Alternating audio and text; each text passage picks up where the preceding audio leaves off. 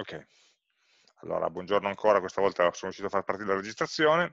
E, ehm, dicevo, siccome ogni settimana vi, cerco di raccontarvi sempre un pezzettino no, dell'evoluzione del corso, eh, vi voglio cominciare a raccontare qualche elemento in vista dell'esame. No? Eh, vi farò poi, diciamo, stiamo preparando un documento completo, dettagliato, eh, però, mh, diciamo così, da so che diciamo, gli studenti apprezzano riuscire a capire già un po' in anticipo cosa, come dovranno organizzarsi e, e come si svolgerà l'esame, quindi cerco di non farvelo arrivare all'ultimo momento, ma cominciamo già a condividerlo insieme, così magari anche voi siete in grado, se ci sono delle criticità o dei problemi, di cominciare a segnalarceli e noi eventualmente possiamo cercare di tenerne conto. Dico cercare perché purtroppo diciamo, gli spazi di manovra sono abbastanza limitati.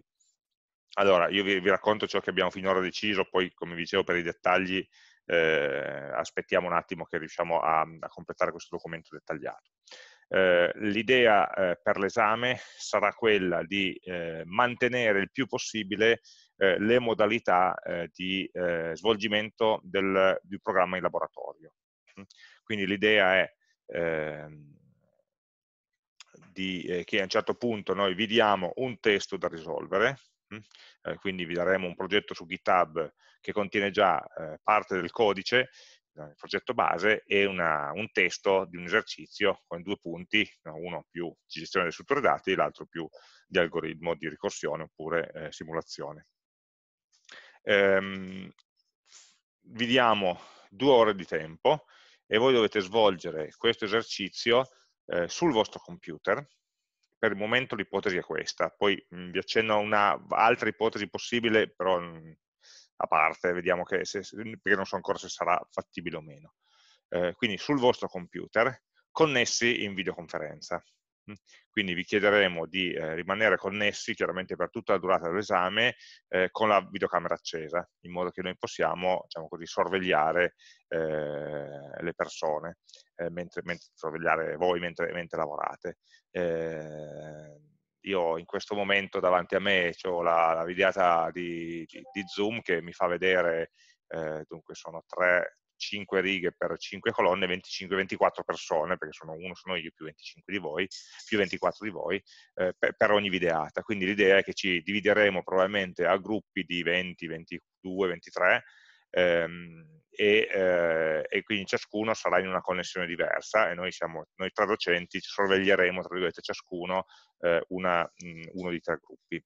Um, quindi eh, vi diamo il testo, voi eh, sul vostro computer aprite la, la, videoconferenza, vi scaricate il progetto da GitHub e, ehm, e cominciate a lavorare in, con la connessione aperta. Chiaro che la connessione vedremo la vostra faccia, vediamo un pochino dell'ambiente intorno a voi, ma eh, diciamo così, ciò che ci riserviamo di fare per evitare che eh, voi sul vostro computer facciate cose che non sono permesse, eh, vi potremo chiedere in qualunque momento di condividere il vostro schermo. Mm. Adesso non so se questo lo faremo usando Zoom, usando la Virtual Classroom, stiamo cercando di capire quali sono gli strumenti migliori, ah, però eh, da un lato appunto noi cerchiamo di verificare che non comunichiate con altri e soprattutto eh, in qualunque momento sappiate che possiamo eh, dire adesso fammi vedere lo schermo, no? in modo che eh, pensiate a fare l'esame non pensiate a fare eh, cose, cose, diverse.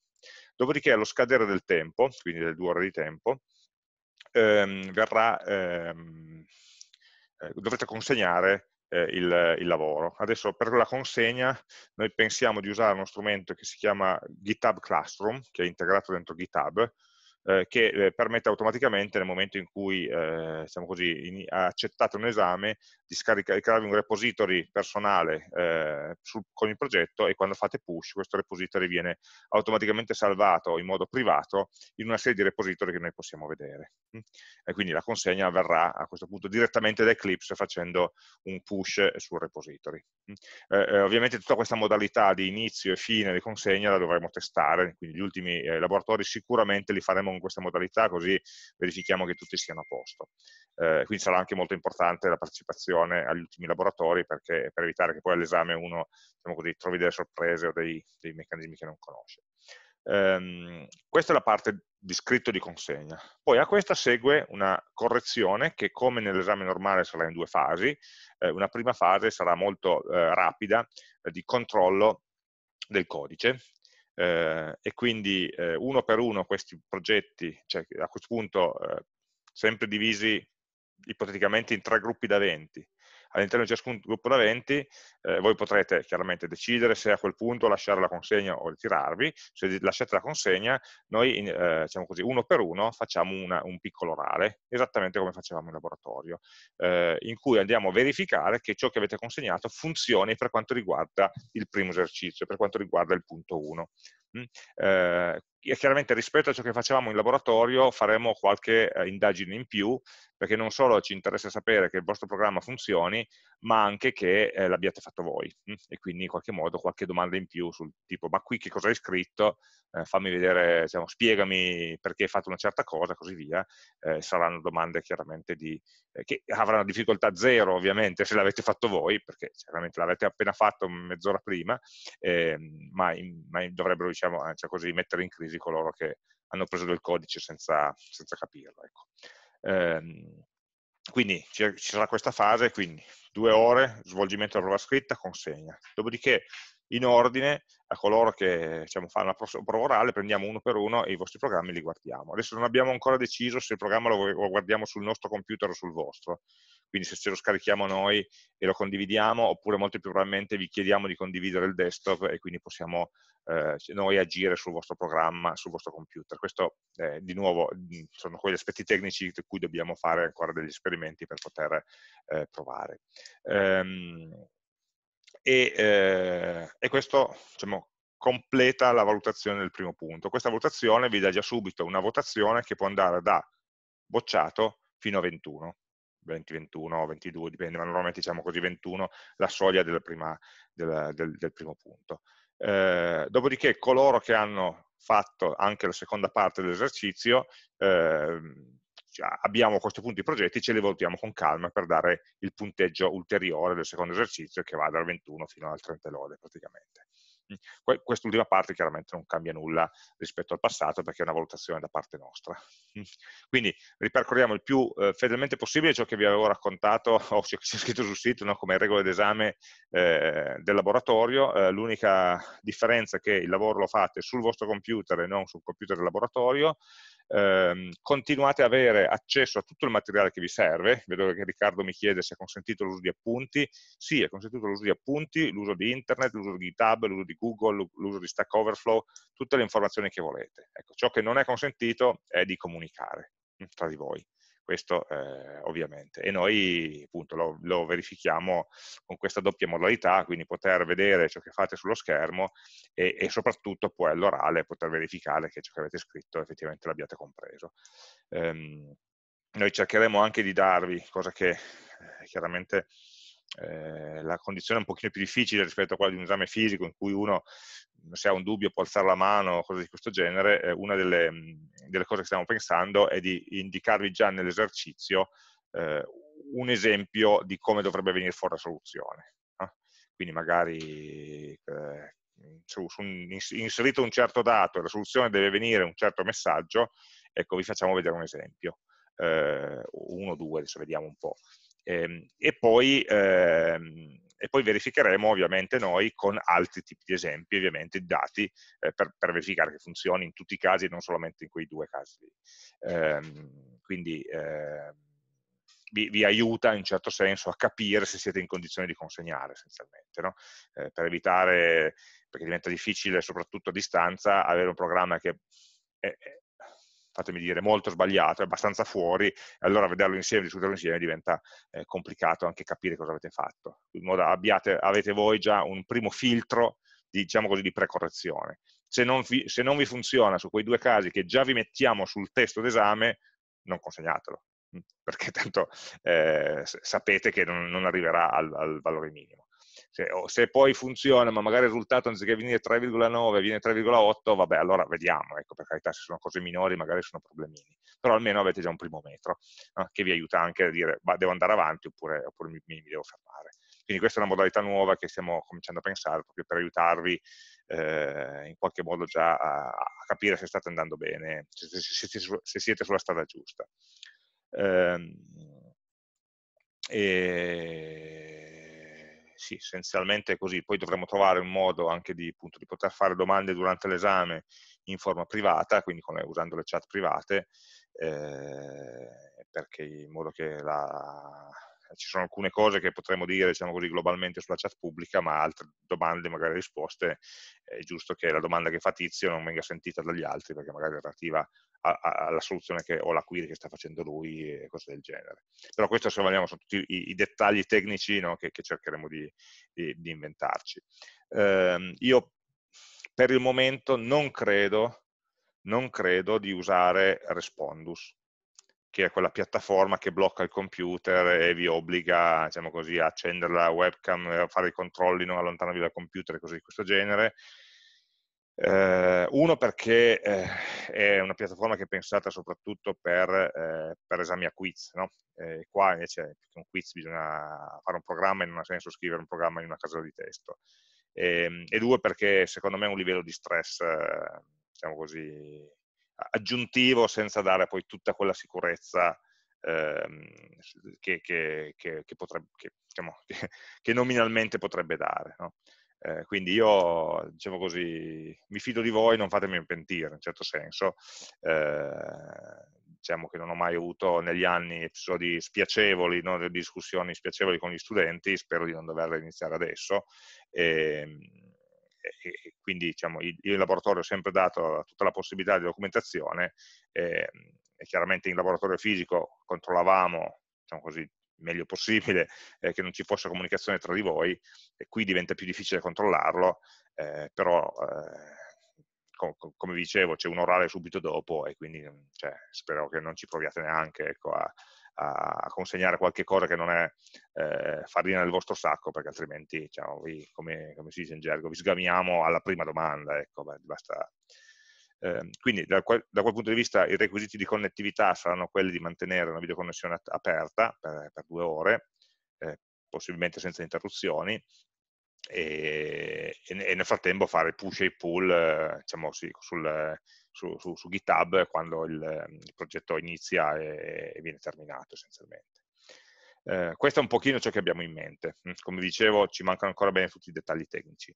C'è un'altra possibilità che stiamo valutando, di nuovo dello stesso tipo, ma che prevede di lavorare non sul vostro computer, bensì su, eh, sul computer del live. Mm eh, e quindi pare che stiano costruendo una modalità di virtualizzazione dei computer dei live eh, su cui a questo punto si potrebbero installare i tool che vi servono e voi eh, vi, vi, potreste in qualche modo collegare virtualmente a questo PC, quindi dentro la vostra finestra del browser vedete il computer del live installato e lavorate lì. Eh, questo chiaramente eh, per noi sarebbe una semplificazione perché a quel punto si allinea eh, sicuramente la, la, configurazione software delle varie macchine e diventa anche più facile per noi riuscire a, eh, a entrare nel vostro computer perché a questo punto è una macchina che gira diciamo, dentro, dentro, i laboratori informatici. Eh, mi fa un pochino paura per eh, le esigenze di connessione, perché magari chi ha una connessione un pochino debole, dover lavorare su un desktop remoto di un'altra macchina è sicuramente più lento eh, e poi potrebbe essere più, eh, cioè cade la connessione crea un problema in più. E, ehm, e quindi è una, modalità che dobbiamo valutare se, se, va bene o no, fatemi sapere anche appunto da, dal vostro punto di vista come siete messi eh, per capire diciamo, se una cosa può andare o no. È chiaro che eh, eh, risolve alcuni problemi del tipo a questo punto siamo sicuri che Eclipse, le librerie, eccetera, tutto funzioni, perché è già preconfigurato in laboratorio, a differenza magari del vostro computer, che c'è magari il tizio che ha il computer più vecchio, oppure eh, non, non, gli funziona Eclipse o Java perché non ha installato la versione giusta. Ecco, questo, eh, per questo mi raccomando se, sempre no, dei vari laboratori di provare a farli veramente, farli sul vostro computer. Hai anche una verifica che voi abbiate l'ambiente software di programmazione adatto. Ehm, quindi questo grosso modo è la situazione. Quindi pensate un attimo a come, può, come potrebbe svolgersi eh, e, e, poi eventualmente o adesso o, più avanti mi fate avere delle osservazioni. Eh, noi stiamo andando avanti a progettarlo in questo senso. Sulle date degli esami che mi chiede Valeria, ehm, da quanto ne so dovrebbero uscire pubblicate sul portale visibili ai docenti eh, il 4, quindi lunedì. Eh, e, e, dopo qualche giorno, quindi qualche giorno per cui ci possono essere dei piccoli aggiustamenti, delle correzioni, eccetera, eccetera, ehm, potrebbero, eh, cioè dovrebbero essere poi rese disponibili, credo, la settimana successiva, quindi 10-11 maggio, eh, visibili per tutti. Eh, io avevo visto un file tempo fa, ma questo cioè, si trattava probabilmente di gennaio e febbraio, eh, con delle ipotesi di date, ma non credo che sia eh, più valido, nel senso che credo che le stiano riprogettando tenendo conto di, di cioè, è stato fatto quel calendario prima, prima che succedesse tutto, eh, che infatti non me l'ho neanche salvate queste date, so che se non sbaglio erano date abbastanza avanti, no? quindi c'era un buon tempo tra la fine dei corsi e, e, e l'inizio dell'esame però eh, questo dico, al momento non ho, il, non ho, informazione su quale sia il giorno che, stato, che, sarà proposto, che verrà pubblicato, come dicevo probabilmente il 4, cioè quindi lunedì prossimo riusciremo noi docenti a vederlo, quindi la prossima settimana, quando ci vediamo martedì prossimo, posso darvi delle anticipazioni chiaramente ancora eh, non definitive, quindi potrebbero ancora esserci degli, aggiustamenti, ma perlomeno eh, poterci organizzare un pochino in grandi linee. Ecco, l'unica cosa, ehm, eh, sul, eh, sui tempi, ecco, per potervi organizzare, eh, ovviamente dipende da quanti si iscriveranno agli appelli, mm, però la nostra idea è, è di riuscire a fare in, in un turno d'esame circa 60 persone. Come vi dicevo, noi siamo tre docenti, 20, 20, 20, tre eh, videochiamate diverse e, eh, e, a valle di questo la correzione di questi 20 persone, magari saranno meno di 20 perché qualcuno si è ritirato, ma diciamo facciamo gli ottimisti, diciamo 20 eh, questo impiegherà un certo tempo, nel senso che sono due ore per lo scritto eh, più eh, probabilmente 3-4 ore per l'orale, perché dovendo vedere 20 persone, facendo una domanda, guardando il codice se funziona, eh, ehm, forse tre ore è troppo, ma altre due probabilmente sono sufficienti, cioè sono necessarie. Eh, allora questo vuol dire che probabilmente eh, mezza giornata intera ci vorrà per, per per un turno di 60 studenti. Eh, questo vorrà dire che probabilmente il giorno dell'appello faremo un grosso turno al mattino, un grosso turno al pomeriggio.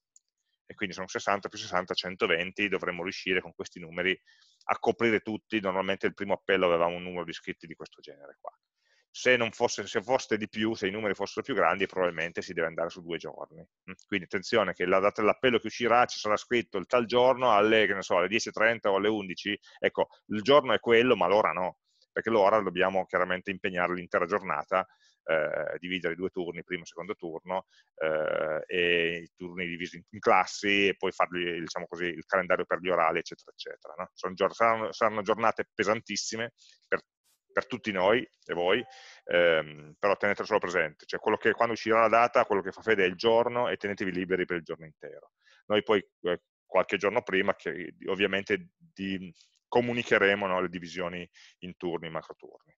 Eh, sui due macroturni, mattino e pomeriggio, ovviamente daremo, daremo, dei compiti che sono completamente diversi, che proprio lavoreranno con database diversi, eccetera, eccetera, no? per, per, evitare ogni tipo di, di comunicazione che ci possa essere diciamo, tra chi ha già fatto l'esame e chi lo deve ancora fare.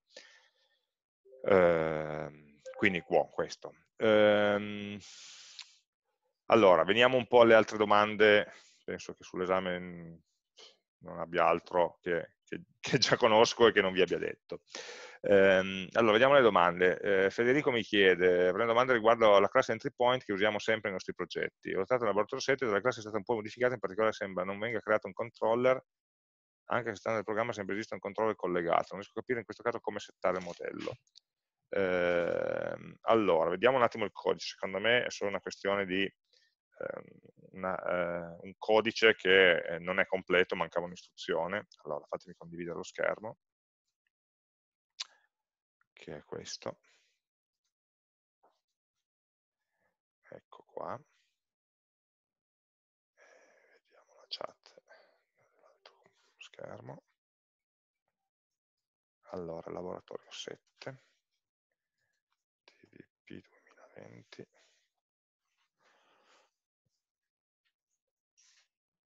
Laboratorio 7.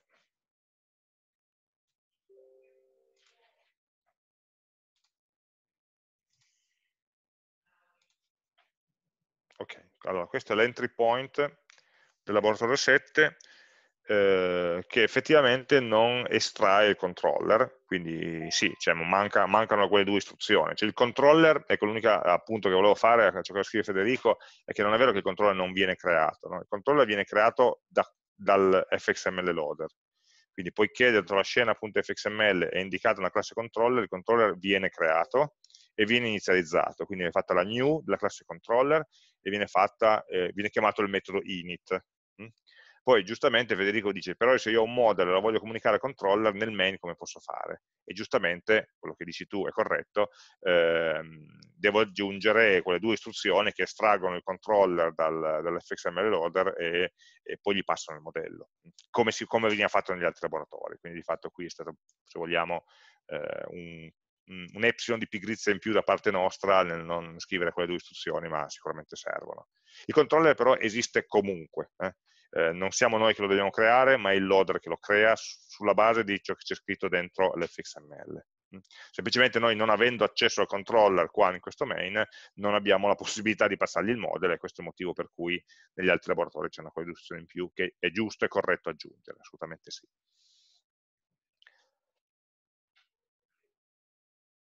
e avrete probabilmente notato che già da questo laboratorio, se non sbaglio, viene eh, modificata la classe ConnectDB eh, usando la configurazione dell'ICAR data source eh, che se avete fatto le cose bene non, eh, non, impatta per nulla il modo in cui realizzate il DAO, perché dovete comunque sempre chiamare una get connection della classe connectDB, eh, o dbconnect, abbiamo un po' di laboratori che la chiamano in un modo e un po' nell'altro, chiedo scusa, e, ehm, e quindi eh, la prima volta, vedete, if data source uguale null, la prima volta che viene chiamato il get connection viene creata la data source, eh, se invece non è null, quindi questa data source che è una proprietà statica della classe ConnectDB eh, è già stata creata in passato, eh, allora semplicemente viene questo metodo eh, getConnection viene delegato, delega direttamente a datasource.getConnection, questa è l'istruzione chiave qua sotto. Quindi quando voi chiamate da questo laboratorio in avanti, no, se usate questa classe di connessione, eh, la getConnection della ConnectDB, normalmente viene delegata alla getConnection non più di driver manager, bensì di eh, data source. Il data source il quale la prima volta che chiamo getConnection viene inizializzato. Ecco, questo ricordiamoci, dobbiamo fare una volta sola, questa inizializzazione, soprattutto questa istruzione qua, perché questa è quella che apre le n connessioni. Se lo facessimo ogni volta peggioreremo le cose, perché anziché aprire una connessione ogni volta, apriremo 10 connessioni ogni volta che ovviamente non è assolutamente quello che vogliamo. Quindi questo if eh, e il fatto che questa data source sia una variabile statica e quindi viene ricordata da una chiamata all'altra è quello che ci garantisce di creare la connessione la prima volta e poi riusare sempre il pool. Eh, I metodi del DAO chiamano getConnection tranquillamente e ottengono in prestito una connessione e poi faranno connection.close e ricordiamoci di farlo connection.close perché questo è il modo per dire al data source questa connessione non mi serve più, riprenditela pure. Eh, quindi adesso in avanti, se volete anche chi, aveva, chi di voi aveva dei problemi nei laboratori precedenti perché dava gli errori su troppe query, il sistema operativo non ce la faceva a gestire tutte le connessioni, se voi provate a prendere questo, copiarlo, questa classe, e copiarlo nei, nei progetti precedenti, dovreste vedere che è tutto, uno, più veloce, due, non dà più questi problemi.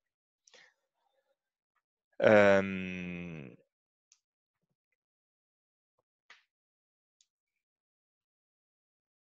allora, poi sempre Federico mi segnala eh, che eh, ci sono degli errori col, col login, fail to load class, uh, static logger binder, default operation, logger implementation. Eh, questo qui non, ha, ha, a che vedere con la configurazione di Icar. Adesso questo lo dobbiamo eh, allora, questi, eh, quella libreria SLF4J eh, è, quindi aspetta, facciamo, fatemi, in realtà dovremmo provare il programma se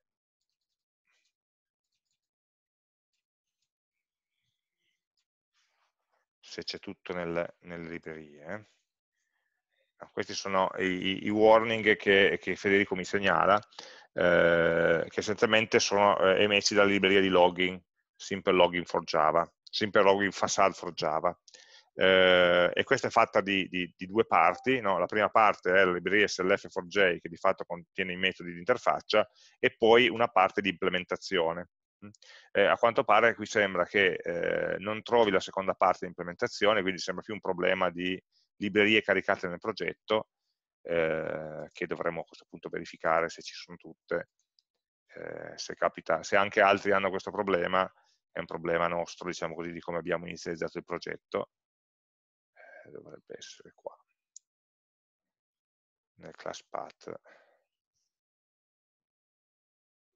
ci sono tutte le informazioni sul POM, scusate, stavo guardando il POM specifica SLF 4J API e SL4J Simple. Quindi in realtà dovrebbe riuscire a trovare SL4J Simple e non capisco molto perché vado a cercare invece lo static logger. Um, questo vabbè, lo, lo, lo, verifichiamo, hm? e quindi compaiono anche ad altri, quindi vabbè, allora a questo punto eh, proviamo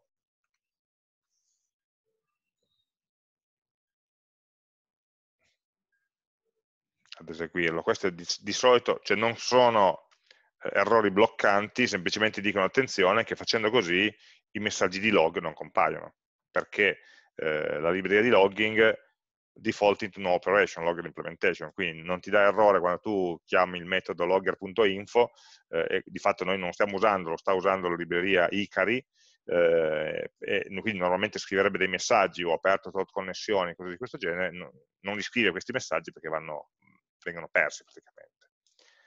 Um, e, e quindi cercare di capire soprattutto dal punto di vista della configurazione del progetto, può darsi che ci sia qualche... Allora, riprendiamo qua, se avete un attimo di pazienza, proviamo a vederlo insieme. Laboratorio 7, clona, da qui importo un nuovo progetto,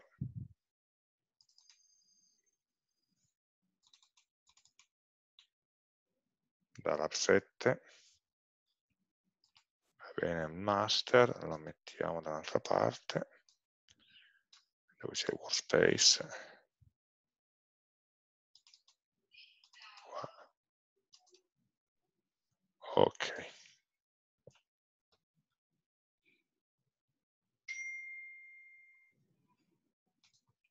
No, Federico dice che gli compaiono solamente dopo che abbiamo modificato entry point, ma semplicemente perché prima non chiamavi nessun metodo del DAO probabilmente e quindi eh, allora lab 7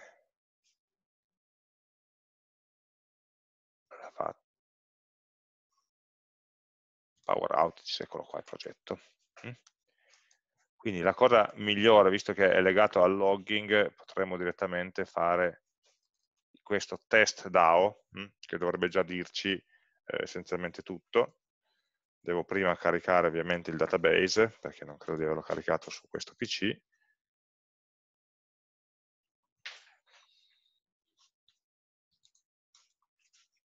Ecco, alcuni hanno avuto problemi a trovare il database perché in realtà non, ehm, non viene, eh, non si trova, non si vede direttamente qua nel progetto, in realtà eh, come si vede da, da GitHub il file SQL c'è no, nel progetto GitHub e poi il progetto Eclipse è dentro al progetto GitHub.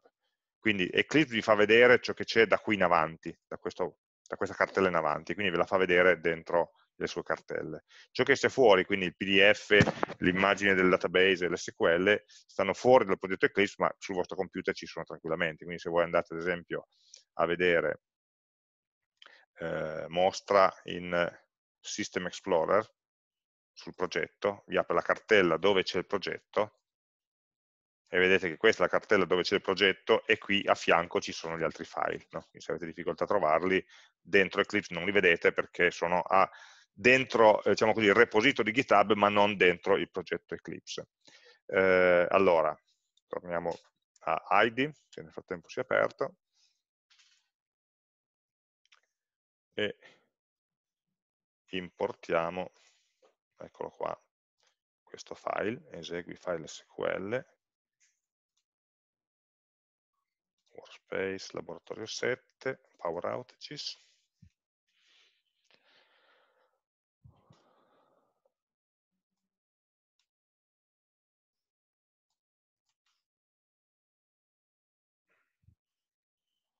Lo sta facendo, l'ha fatto. Sì, eccolo qua, l'ha fatto. Power outages ce l'abbiamo. Esatto, ok. Allora a questo punto da Eclipse proviamo a, a eseguire il test DAO, visto che è appunto un problema di database, non dovrebbe servire lanciare l'interfaccia grafica, e quindi eseguiamolo. E eh, come mi avete segnalato, non che non ci credessi, ma eh, esattamente compaiono questi messaggi. Allora, questo nonostante nelle dipendenze ci sia SL for simple, anche se con un'icona un pochino più brutta, un pochino più grigia, mm, che non capisco cosa, non so che cosa intenda dire. Quindi è possibile che lui non trovi per qualche motivo questa libreria, quindi questo qua dobbiamo andare a verificarlo. Mm. Eh, nel, nel build path, dunque, build path, questa libreria la dovrebbe trovare. Allora, order next, librerie, dipendenze Maven, eccolo qua.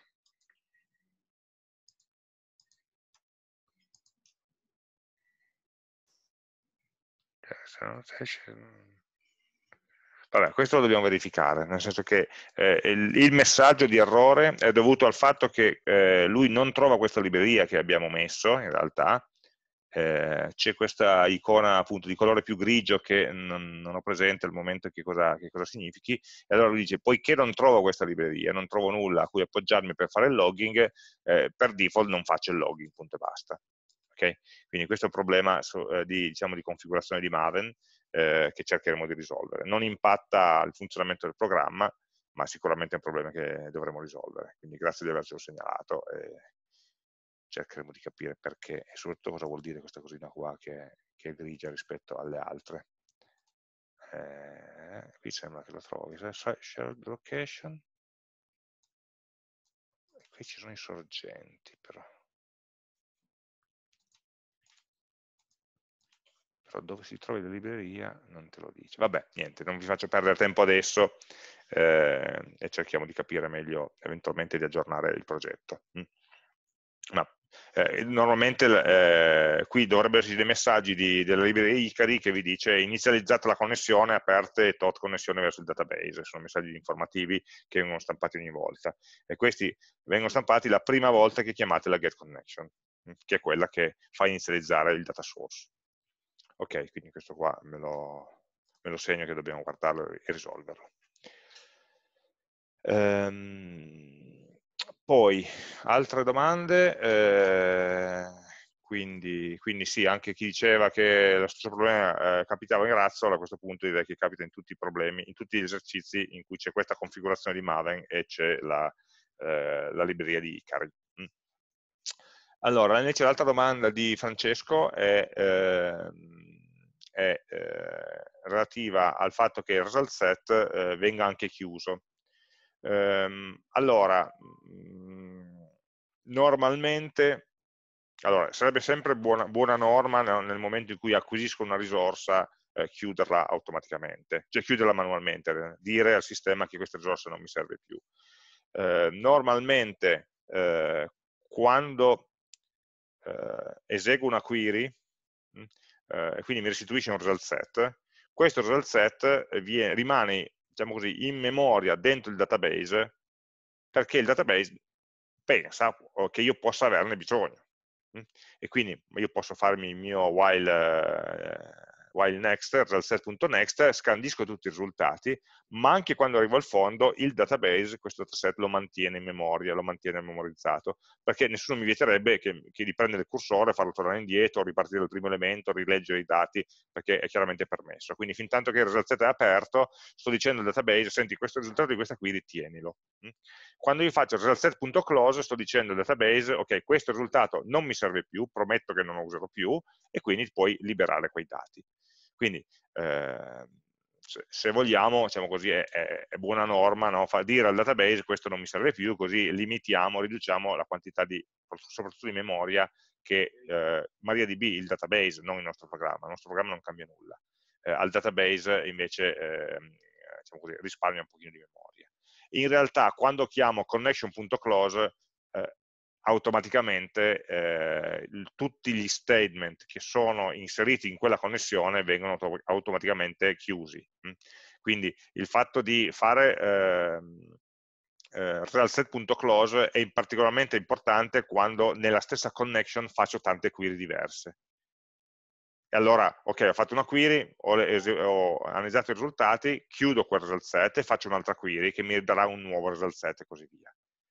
Eh, se invece come facciamo noi in una, in, una, in una, connessione facciamo una query massimo due veloci poi chiudiamo la connessione, cioè quando facciamo connection.close la connection.close si porta dietro ovviamente anche la chiusura di tutti gli statement che quella connessione vi ha generato quindi in questo caso non è, eh, non è così indispensabile diciamo, se volete scrivere codice pulito ben venga, no? chiudere anche il result set eh, il, il database vi ringrazia ma altrimenti se non chiudiamo il result set subito dopo chiudiamo la connessione, connection.close, che poi nel caso del, del, eh, del, data source non è una vera chiusura della connessione perché significa semplicemente restituirla al pool, però eh, l'operazione esplicitamente di chiusura della connessione eh, fa chiudere anche i vari result set, quindi in questo caso non è, non è necessario farlo. Ecco. Viene fatto diciamo, automaticamente dal connection.close.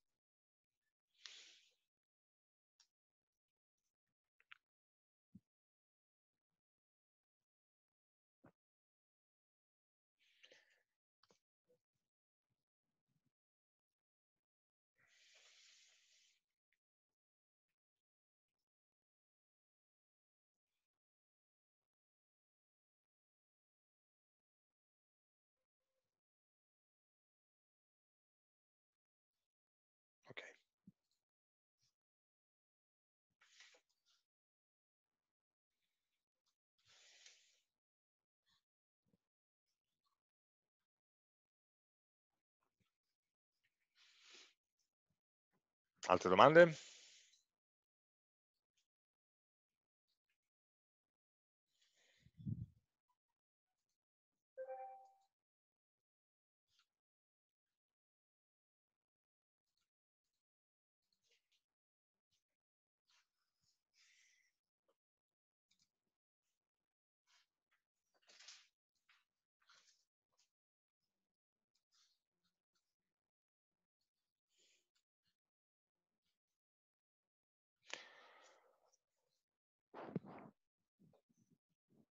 Allora, c'è una domanda di Riccardo, che adesso vi copio,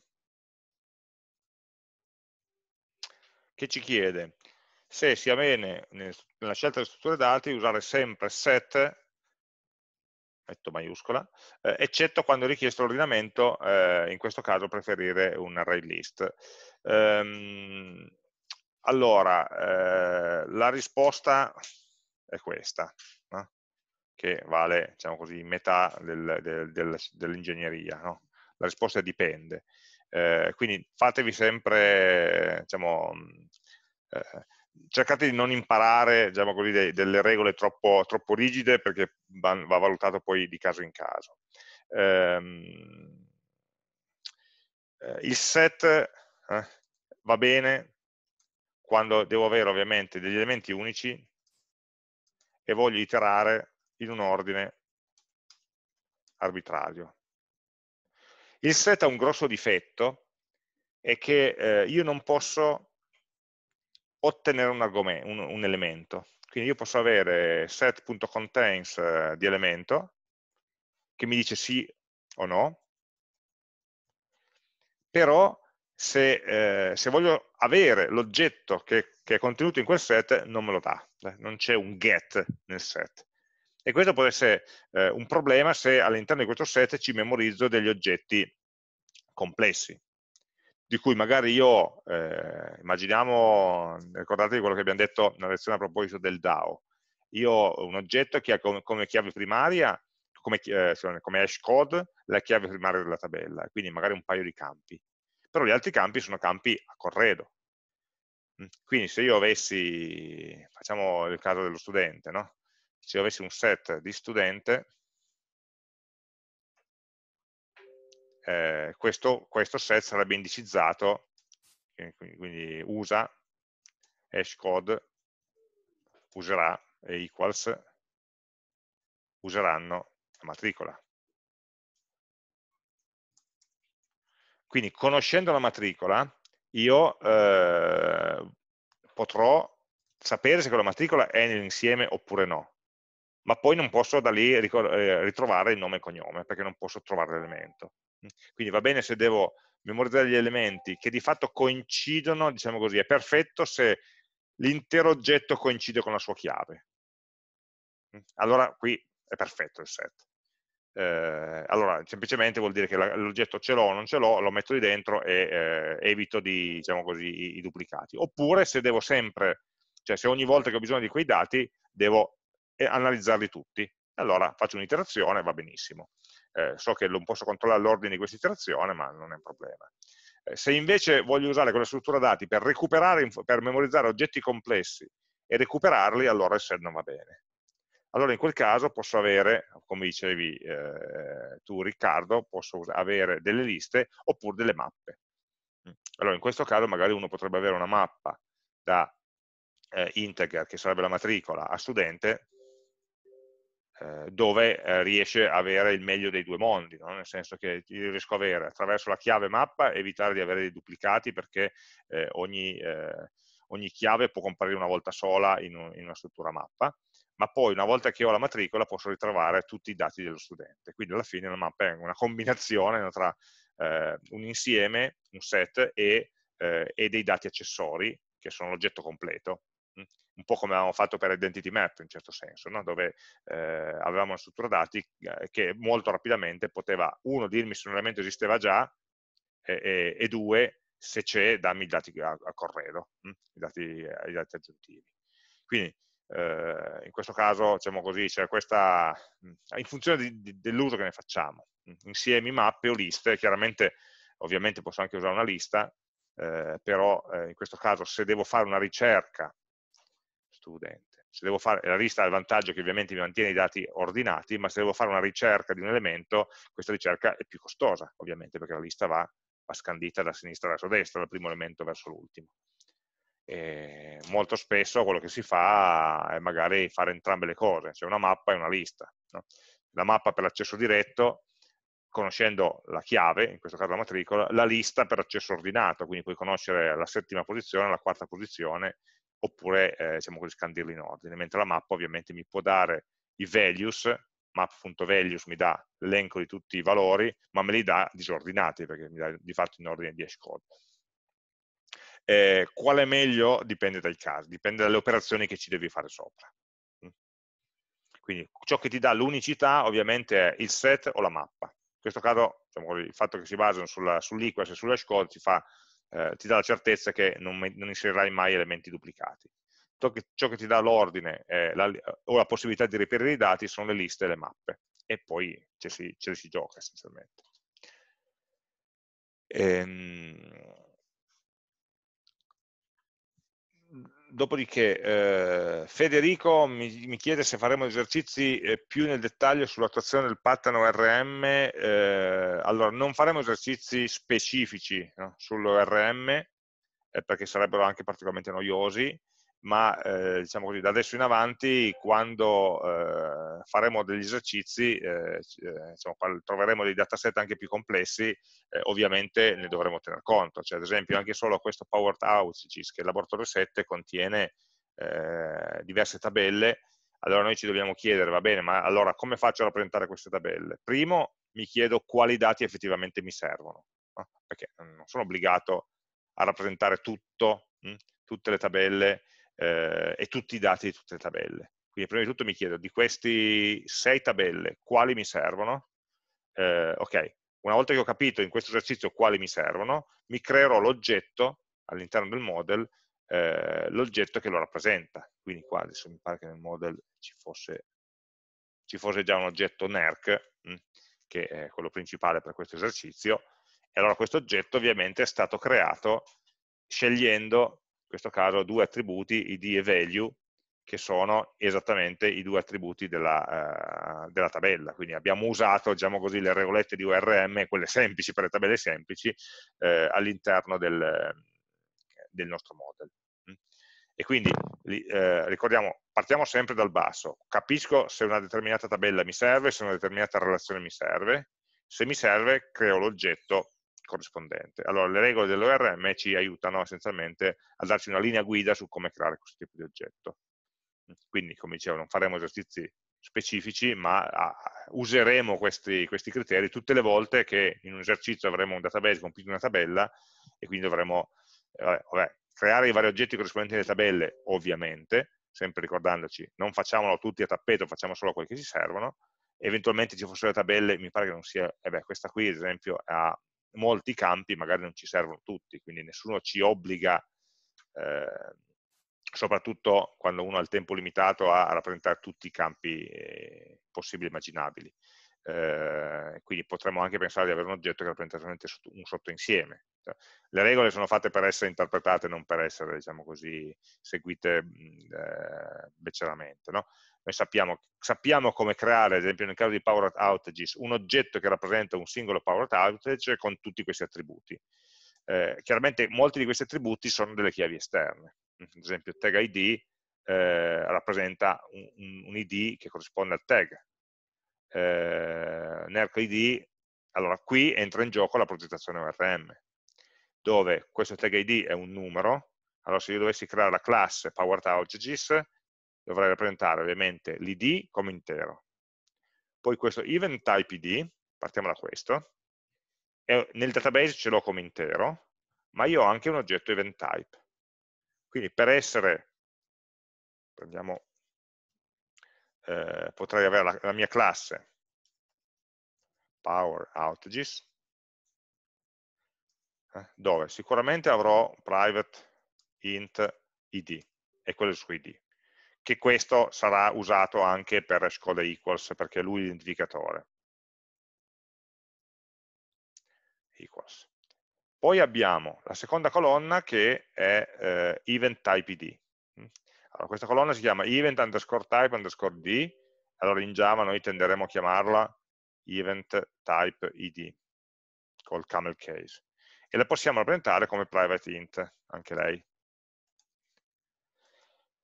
Meglio, però, visto che questo è un identificativo numerico che fa riferimento a un oggetto di un'altra tabella, eh, definirlo direttamente come event type. Mm? Event type esterno, perché avremo sicuramente la tabella event type che ha i suoi id e i suoi campi. Quindi dentro Power potremmo definire eh, un riferimento al tipo di evento, ad esempio, così. Mm? Allora, queste sono eh, tre modi diversi. No? Potremmo avere solamente, decidere di avere solamente l'id, possiamo decidere di avere solamente l'event type, oppure decidere di avere tutti e tre. Il più pigro è avere solamente l'id. Quando leggo la tabella mi dà l'id, ho l'id e ho finito, lo salvo. Ovviamente quando poi vorrò avere, ad esempio, per, per stampare no, questo maledetto evento, che cos'è stato, che sia eh, che mancava benzina, ad esempio, nei, nei, nei distributori, eh, oppure c'è stato un attacco di vandalismo, eh, devo stampare questo messaggio, dovrò fare un'altra query che dall'id numerico mi vada a prendere quell'oggetto. Se però magari io l'elenco degli event type ce l'ho già, questo elenco degli event type ce l'ho già, allora avrò già da qualche parte una lista di event type. Meglio ancora un id map dei event type, eh? una mappa, barra, una lista o entrambe. Allora a questo punto nel mio oggetto DAO, quando creo Power Outages, vado a consultare questa lista collection di event type, trovo quello giusto e nel mio oggetto PowerOut già di, direttamente metto il riferimento con l'oggetto. Dove a questo punto l'id diciamo, diciamo, che non mi serve più, perché una volta che ho riferimento all'oggetto, eh, l'id lo posso andare a prendere dall'oggetto. Quindi farò eh, più avanti nel mio codice, farò l'outage.eventType get event type .getID, se mi serve l'id. Oppure farò outage.getEventType.get, la descrizione si chiamava value. E a questo punto avrò il messaggio, descrizione testuale. Mm? Quindi questa è l'applicazione pratica no, di quella regola che diceva io ho una relazione con cardinalità 1. Ho un oggetto power che punta a un oggetto di tipo eh, event type.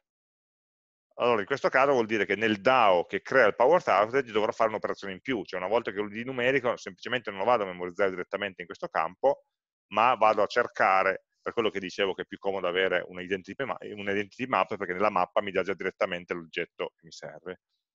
Mm. E quindi all'interno del DAO scriverò qualche cosa del tipo eh, resultSet.get int della colonna che si chiama event, event type underscore id. Una volta che ho questo numero intero, devo trovare l'event type corrispondente. E quindi avrò una collection che si chiamerà event types, ma una mappa probabilmente, get,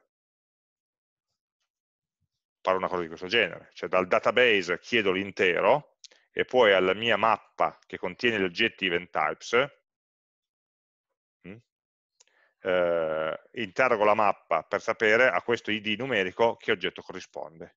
E questo qua diventerà ovviamente il valore di questo event type. Mm.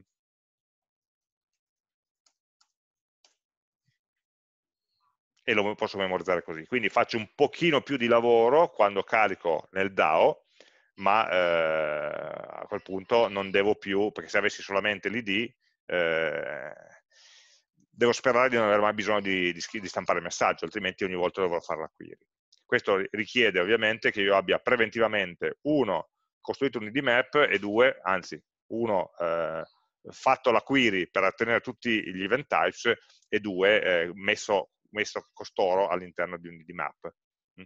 O, o, o, di una lista, ma a questo punto sarebbe poco efficiente averli in una lista e, ottenere, e interrogare la lista per, per, per contenuto. Mm. È, è, un po' di lavoro in più, eh, valutiamo se vale la pena. Nel senso che se questo messaggio dobbiamo scrivere una volta sola nel nostro programma, a quel punto ci giochiamo, ci facciamo una query e abbiamo finito lì. Se invece ci accorgiamo che l'informazione collaterale che ho dentro, perché eh, rifaccio il ragionamento, io ho una tabella che mi descrive power outages, questa Power Outages ha delle informazioni sue, interne, no? tipo customers, date began, date finished, e delle informazioni che sono in tabelle collegate. Allora, le informazioni nelle tabelle collegate mi servono, mi servono frequentemente? Se sì, allora ha senso impostare tutto questo meccanismo. Quindi farsi la collection id map della tabella collegata e all'interno della tabella Power Outages vado a mettere riferimento all'oggetto. Eh, in caso contrario, chi me lo fa fare? Memorizzo l'id e lo lascio lì e se non devo stampare i dati o se non devo farlo molto frequentemente, eh, lavoro di meno. Mm? Quindi, eh, di nuovo, le regole le abbiamo per, per costruire diciamo così, il sistema completo, però eh, se prendete un database come questo e volete costruire tutte le relazioni, ci perdete veramente due ore a, fa, a far tutto, tutte le l'id map per ogni tabella, eh, il lookup dei, dei, dei, valori per ogni tabella, eccetera, eccetera, eh, e poi magari non vale la pena perché non lo usate. Allora, se fosse un, eh, un, un model che sapete di riusare più volte, allora vale la pena di investire, altrimenti cerchiamo sempre di, di andare, andare, in questo solco, ma poi andare solamente fino al punto in cui ci serve. Quindi questo è un po' il ragionamento che in tutti gli esercizi da adesso in avanti dovremmo fare, tenendo conto di quelle linee guida, che essenzialmente ci dicono essenzialmente come costruire questi oggetti, dare i nomi, come memorizzare le relazioni, eccetera, eccetera, se vogliamo. Eh, poi di nuovo questa operazione qua potrebbe essere un'operazione lazy in cui memorizzo solamente l'id e poi solo la prima volta posso andare a fare la query e memorizzare il valore, oppure eager, come avevamo definito nelle slide, cioè eh, io in anticipo comincio già a leggermi tutti, non si sa mai, e me li leggo tutti. E allora vuol dire che li ho già. Mm. Le sfumature sono veramente moltissime, non c'è una regola unica, ma perlomeno sappiamo quando lo vogliamo fare, come, come approcciarci. L'ID map eh, ce l'ho già nel model, la passo come argomento al DAO, sì, sì, sì. questa ID map, eh, quindi in questo quadro noi abbiamo pensato che event types è, e sarà una mappa che parte da integer e, e da integer virgola event type che viene creata nel model e passata al DAO come parametro aggiuntivo. Esisterebbe un'altra possibilità a me non piace, la metto tra parentesi, potrebbe essere una variabile statica del DAO. Eh, nel senso che potrebbe essere una variabile che il DAO si gestisce per se stesso, in un certo senso serve a lui no? questa, eh, questa um, eh, come si chiama, eh, identity map. Quindi se la potrebbe gestire, tutte le volte che fa una query si salva i dati e poi quando dovrà costruire degli oggetti le riperirà questi dati. Eh, a me questa seconda versione non piace moltissimo perché l'identity map potrebbe essere anche molto utile al model. E allora non ha senso che il model usi una variabile interna del DAO. No?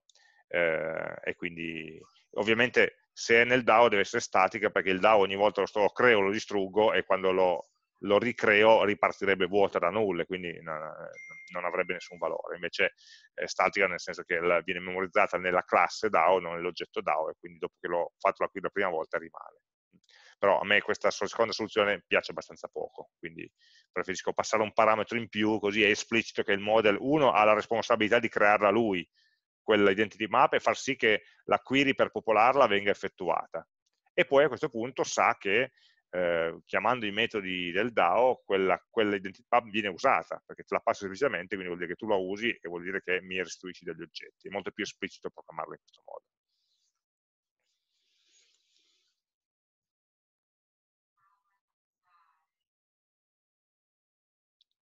Um, ok, allora, qui c'è un'altra domanda su un argomento completamente diverso, sul binding, di cui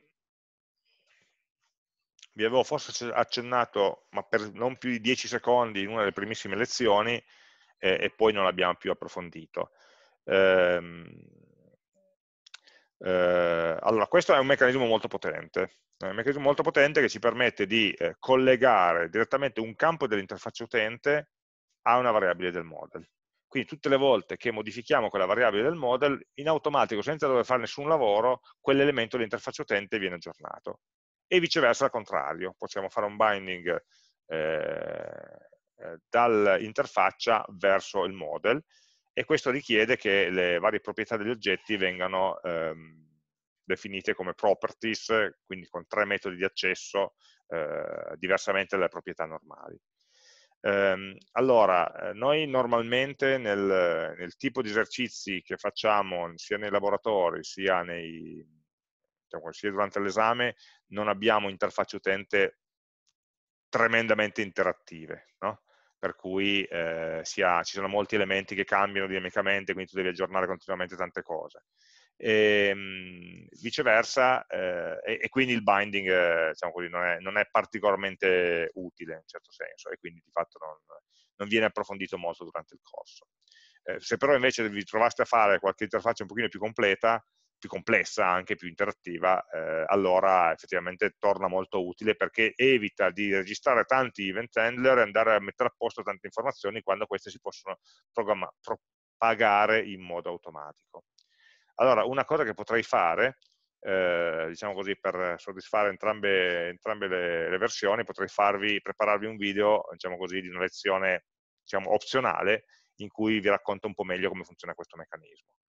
Così chi vuole, chi è interessato, se lo va a vedere con introduzione, poi ovviamente c'è tutta la documentazione da, da studiarsi, ma almeno c'è un'introduzione facile, diciamo così, di, di, di, primo approccio, con qualche esempio, e poi se volete lo potete utilizzare anche eh, poi nei vostri esercizi. Però non lo carico, cioè non lo inserisco diciamo così, nel programma del corso ufficiale, quindi da questo punto di vista mi devo ricordare, quindi farò una lezione opzionale sul binding nelle prossime settimane.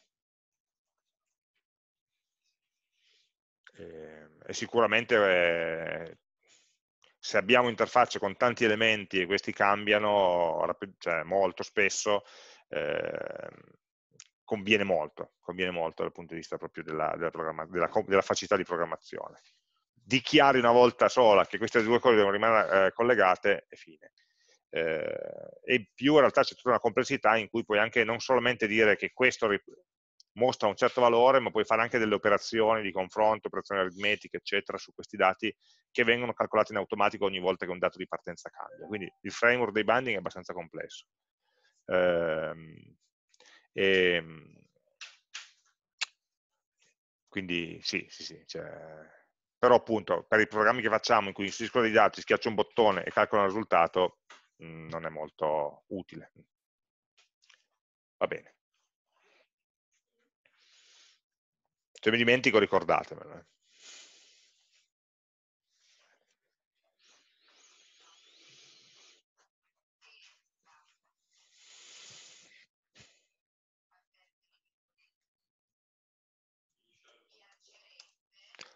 Ok.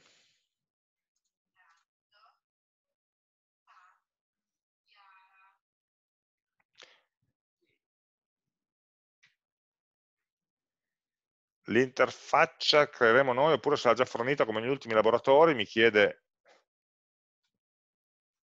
qualcuno che si chiama con la eh, la creeremo noi oppure sarà fornita? Normalmente viene già fornita, eh, l'fxml è già, è già compreso solitamente è già compreso nel, nel progetto base.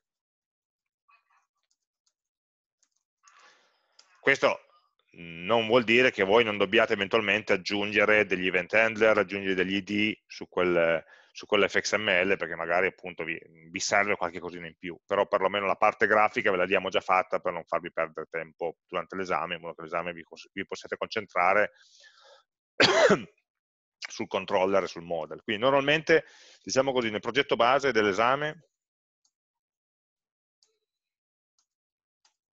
vi trovate già fatti. Eh, entry point, eventualmente da, eh, da modificare con se, se, dovete aggiungere il model, se dovete impostare le variabili, creare qualche cosa. Eh, L'fxml, che quasi sempre non è da modificare, vi trovate già la ConnectDB, sono già, già fatte, e di solito, molto spesso, uno scheletro di DAO, in modo che possiate subito, questo ci serve con un metodo molto cretino, tipo leggi, leggi, tutti i dati o cose di questo genere, questo ci serve perché così una volta che avete creato il programma potete subito testare il DAO la connessione col database, con già un metodo, diciamo così, di base. E, e, ed eventualmente una o più classi del model le classi usate dal model, classe DTO, quelle che avevamo chiamato DTO, quindi classi con contenitore di dati. No?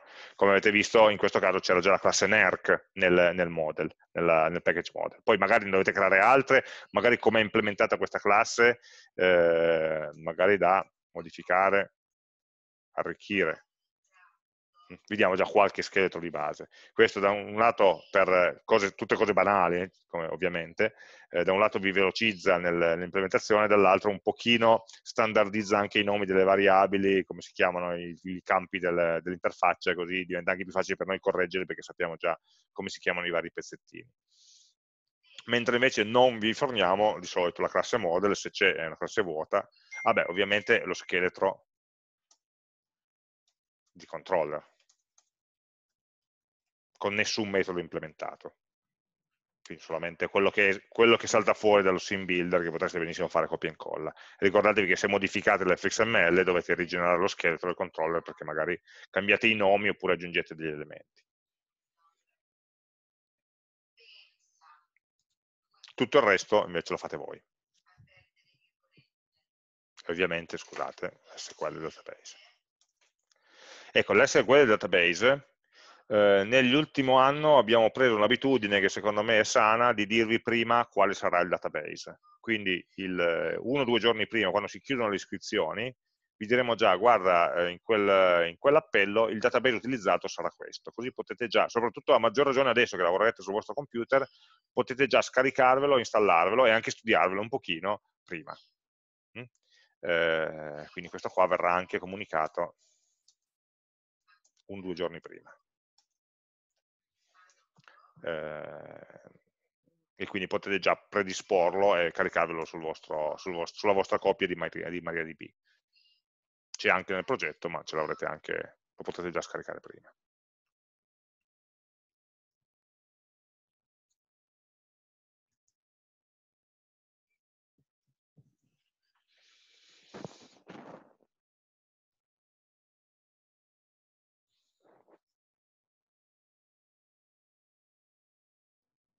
I prossimi giorni poi dovremo riuscire a pubblicare anche il video della soluzione del laboratorio 6, nel senso che abbiamo fatto già due giri di revisione col borsista, dovrebbe essere pronto per la pubblicazione, e così poi possiamo procedere.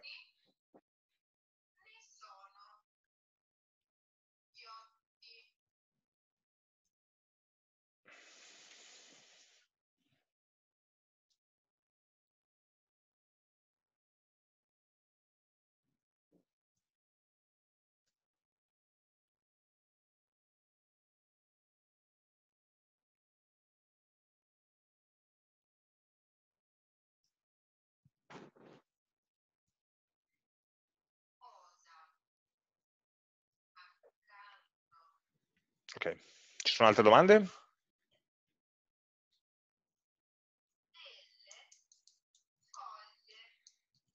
Dei pensieri, delle reazioni sulla modalità d'esame che vi ho raccontato all'inizio? Intravedete delle difficoltà? Oltre ovviamente a sapere le cose che servono, ma quelle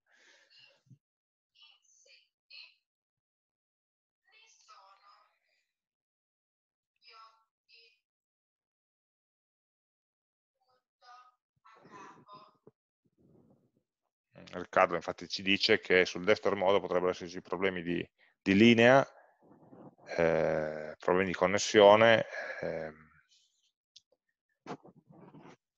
e per quello io cercavo appunto, è chiaro che la connessione è, è obbligatoria, cerchiamo di mantenerla cioè, in modo che appunto la, la senza una connessione video veramente non siamo in grado di capire minimamente cosa state facendo, quindi diventa un minimo dobbiamo riuscire anche con una risoluzione limitata, una banda limitata, dobbiamo cercare di riuscire a tenerla in piedi.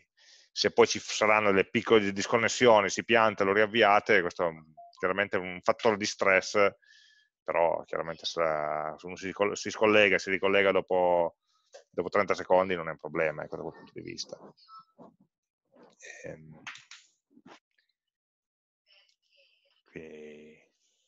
è chiaro che se si vede che invece la cosa si ripete o è, è sospetta, ricordiamoci sempre che dopo, subito dopo l'orale. Ecco.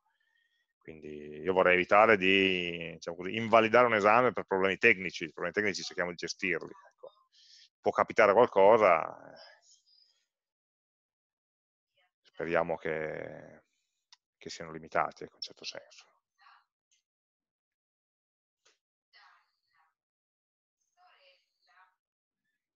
Noi cercheremo di trovare una soluzione se esiste, perché a me quella eh, diciamo, mi interessa di più, non tanto vedere cosa fate in faccia, sì, ma anche vedere cosa fate sullo schermo, perché visto che il, eh, il, il compito sarà sul, sul, laboratorio.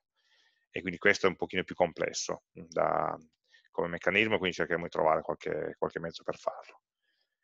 Eh, poi, onestamente, ovviamente non possiamo controllare ogni millisecondo di ciascuno di voi ci sarà una, un controllo più o meno generale vedremo se riusciremo eventualmente a registrare il desktop, non tanto le facce, ma questo dipende dagli strumenti, cosa saranno in grado di fare.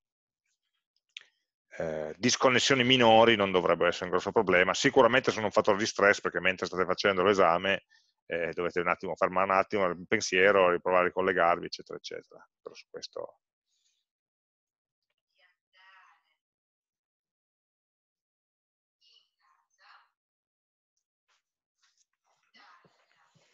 Ok.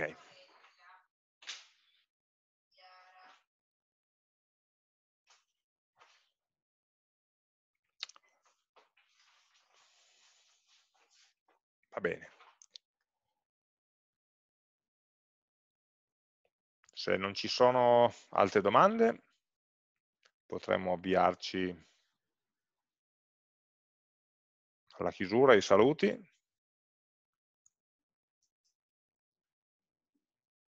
E se vi vengono in mente domande più avanti, ovviamente abbiamo sempre Telegram con cui poter chiacchierare nell'arco della settimana.